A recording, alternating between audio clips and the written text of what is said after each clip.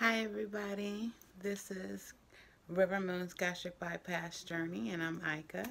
Thank you for tuning in. Um, it's been a few weeks since I last recorded.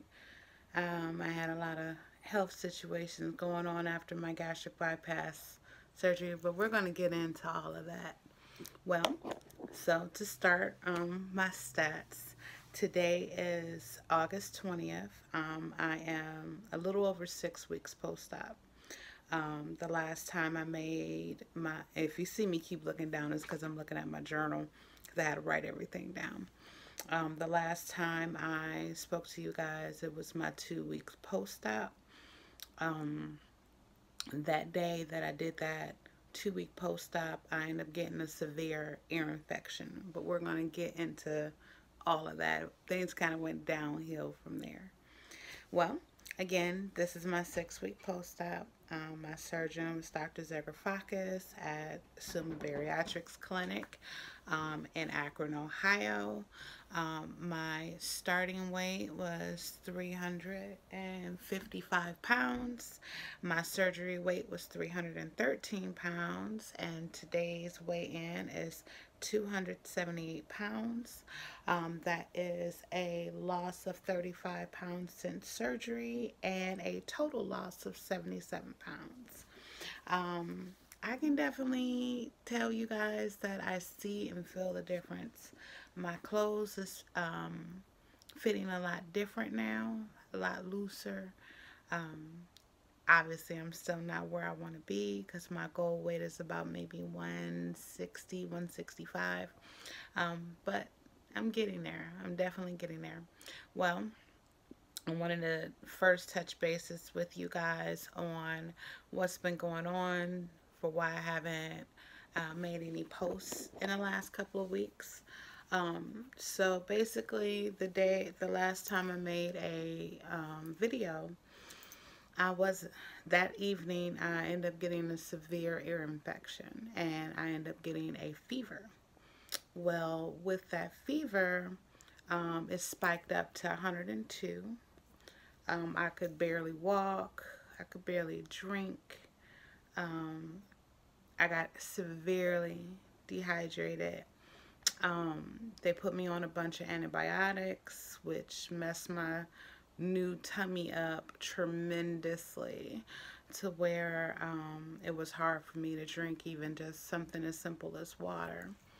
So I was sick for about two weeks. Um, like I said, I couldn't really walk. I had no energy. I was just very, very, very sick.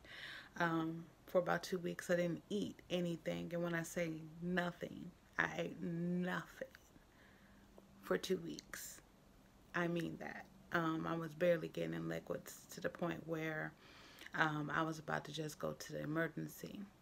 Um, but they put me on an amoxicillin and um, they didn't I guess my primary didn't under, realize that if an amoxicillin messes with someone with a normal tummy, somebody with a newborn tummy like myself being a gastric bypass patient, they would, um, it would really mess with their stomach. So um, after my fever finally went away, my taste buds changed yet again since surgery. So now I can't drink Crystal Lights. Water tastes funny, which it didn't before. Um, I can't eat tuna fish. Um, I'm on regular foods, by the way. Um, but unfortunately, let's see here. Sorry about that. Um, but unfortunately, I'm going to keep this short because obviously my battery is trying to go down. Um, but it's been a struggle. I have been able to go ahead and uh, realize, uh, start drinking uh, tea. Ooh, sorry about that. I started drinking tea, um, iced tea. I have to have everything ice cold. No food tastes good whatsoever other than Mexican food. Pico de gallo, spicy stuff, things of that nature. Um, so I haven't been getting my protein. My protein is about 60 grams a day. I've been getting close to like 45, but it really does feel like a chore just trying to get in the 64 ounces of water, let alone trying to get in food because only a couple of bites get me full. Um, quickly gets me full. Um, so I like chicken. Um, been trying to stay away from a lot of other stuff. I don't want any burgers and things of that nature. I actually don't want to eat at all.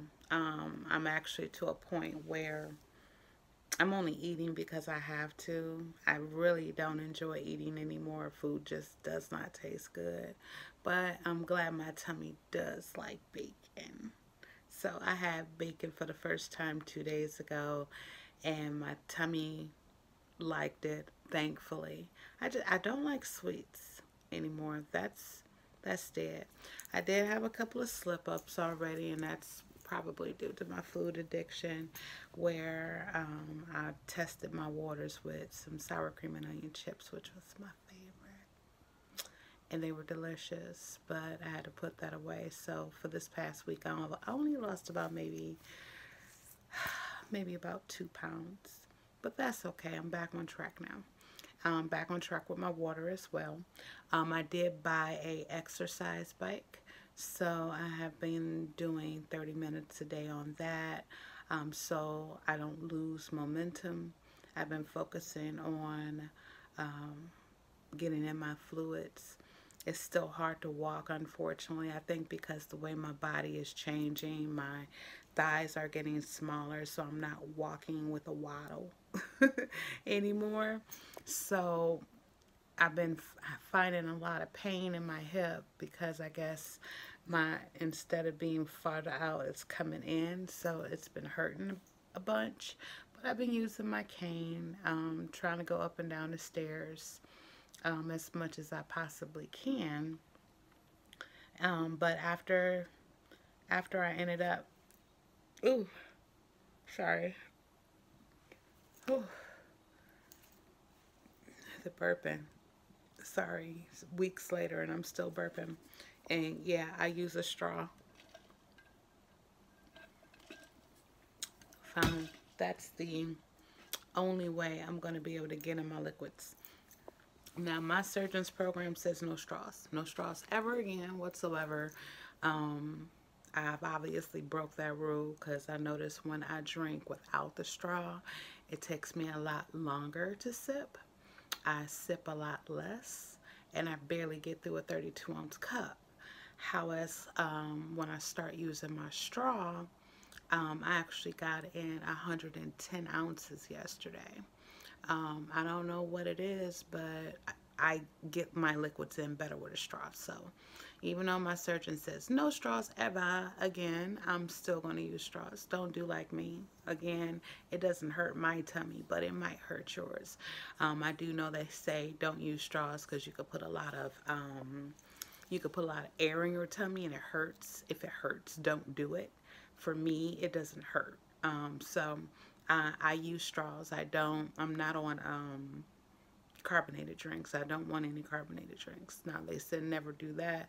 I don't want to feel the pain of the carbonated drinks, so I'm not going to mess with it. Um, even though ginger ale, just many days when I was sick, seemed like it was going to be phenomenal but I'm just not going to go that route and that would be an ultimate trigger for me. So I'm just not going to do that. Um, what else do I want to talk to you guys about? My exercise routine. So I don't want my progress slowing down even with the RNY. So I did start, as I stated, um, the exercise bike. I'm doing that about 30 minutes a day, trying to break it up to either three 10 minute sessions or two 15 minute sessions. Slow and steady wins the race. I know some people out there just do the 30 minutes. With my arthritis, I have to do what I got to do so I don't be too sore so I can continue to do it every day. So if for you, you know, getting on there, knocking it all out at one time is what you can do, then good for you. I'm going to do what's best for my body and I'm going to slowly um, progress myself to be able to do it all at once. So for the first time yesterday, I was able to do two 15 minute sessions instead of three 10 minutes.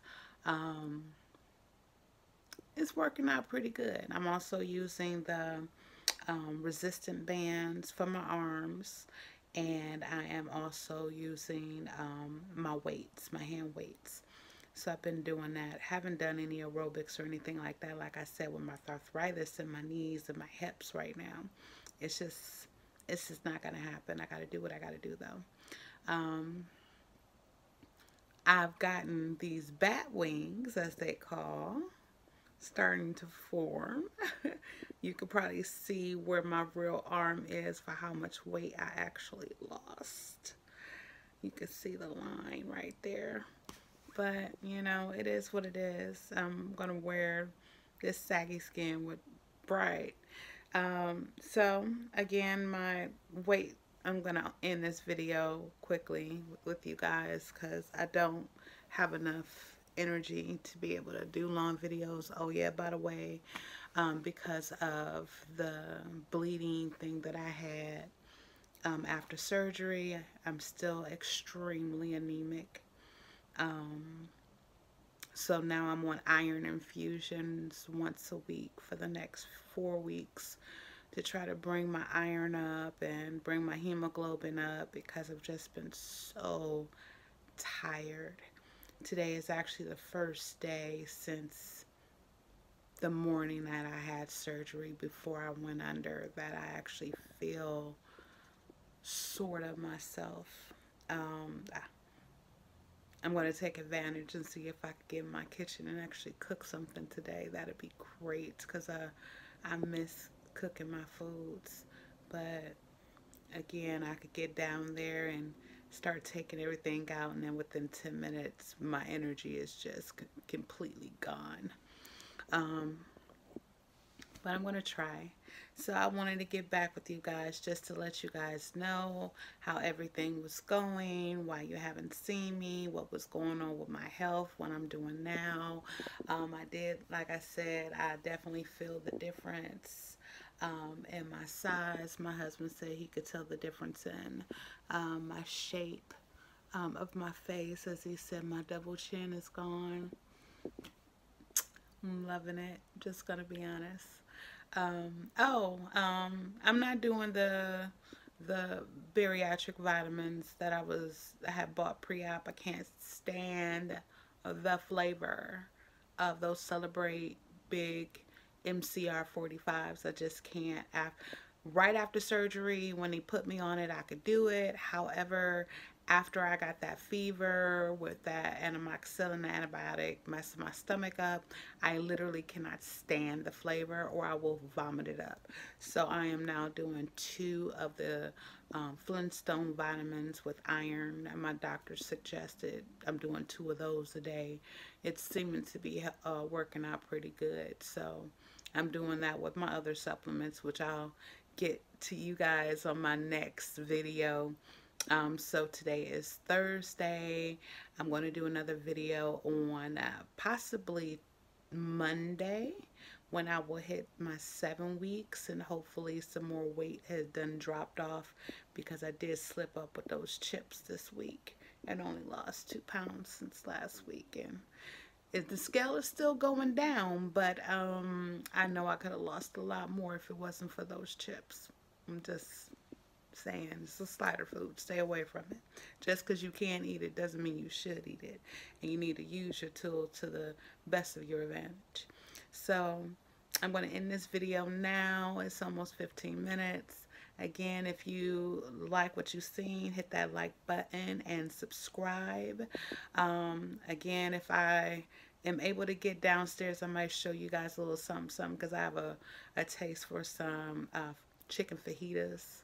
Oh, love chicken fajitas. So I might do some chicken fajitas tonight. Um, might take you guys in the kitchen with me. So again, I'd like to thank you so much for watching my channel and you guys have yourself a beautiful, blessed, and lovely day. And I hope good health finds you all wherever you are. Have a good one.